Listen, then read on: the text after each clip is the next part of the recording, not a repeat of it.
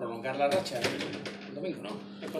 Sí, sí, si somos capaces de enganchar tres victorias seguidas sería muy importante para nosotros. Campo, campo difícil, sé que históricamente no, no, el club no ha ganado allí y, bueno, también otro objetivo, ¿no? La posibilidad de, de ganar allí y romper también esa racha histórica del club.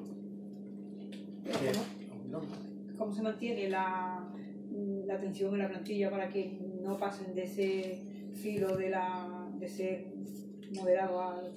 Sí, lo que hemos hablado siempre, eh, la estabilidad que intento dar. Son jóvenes, tanto para lo malo pues se ponen muy malos y para lo bueno pues se vienen arriba.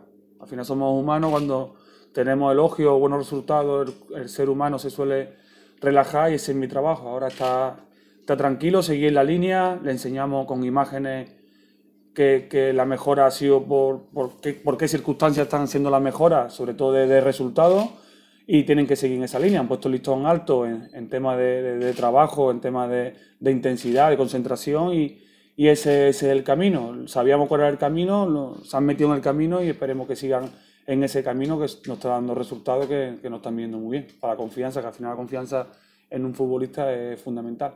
¿Qué es lo que más te preocupa del, del pues todos, eh, no son excusas, pero al final es un campo muy diferente al que jugamos nosotros. Creo que me dicen que el artificial no está en las mejores condiciones, campo, campo reducido, jugadores con experiencia. Mm, ellos tuvieron una racha de tres partidos seguidos ganando, ahora llevan una racha sin, sin, sin, ganar. Pero bueno, va a ser un partido muy difícil, seguramente muy igualado, parecido al del Cabecense. Y, esperemos que, que, se haga a favor nuestra, sobre todo esa concentración y esa comunicación que tuvimos día del Cabecense, que, que nos ayudó mucho a, lograr el resultado. Eh, con lo difícil que está siendo, mm, a ver, o ha sido el mantenerlos ahí arriba, terminar el año ahí, eh, o, en, o, rozando playoff o en playoff si se puede, eso va a dar un estímulo. Por supuesto, hombre, nos da...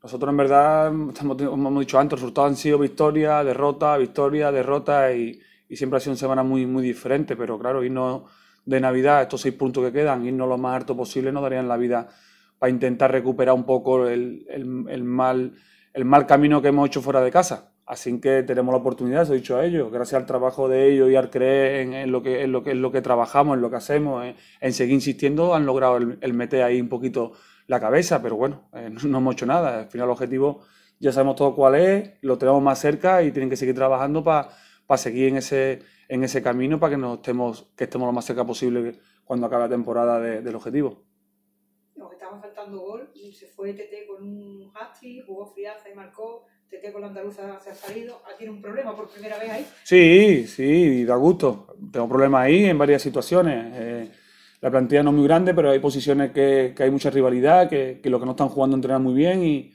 y bueno, al final el cuerpo técnico decidimos, vamos a intentar eh, fallar lo, lo, mínimo posible y ahora mismo no molestarlos a ellos. Lo que queremos ahora no molestarlos a ellos. Están en encontrar el camino, es su camino, es su es su trabajo y ahora lo que tenemos que hacerle, como siempre, siempre hemos intentado ayudar en lo posible, pero ahora eh, no molestarlos y, y, que el trabajo que están haciendo ahora y las cosas tan claras como lo están teniendo, que sigan en ese camino, sabiendo que es fútbol y que también vendrán días malos y partidos malos y derrotas y, empate por desgracia, pero vamos a intentar alargar lo más posible la buena racha positiva que llevamos.